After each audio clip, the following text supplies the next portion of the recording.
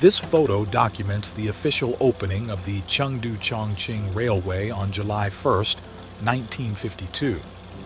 With the sound of a whistle, the 505-kilometer Chengdu-Chongqing Railway was officially inaugurated. This was the first railway line built after the founding of People's Republic of China in 1949, and also the first railway independently designed and constructed by the PRC and built with domestic materials. It reduced travel time between the two cities from seven days by water to 13 hours by rail. Over the 72 years since the inception of the Chengdu-Chongqing Railway, rail transport connecting the two cities has expanded to three lines.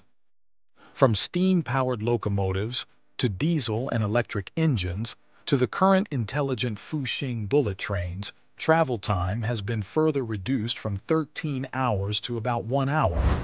The evolution and transformation of the Chengdu-Chongqing railway lines epitomize the remarkable progress of China's railway development.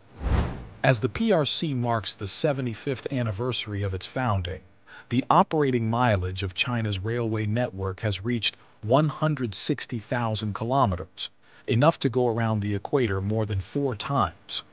China now has the world's longest high-speed rail network, the largest scale of railway construction, the most high-speed trains in operation, and the highest commercial operating speed in the world.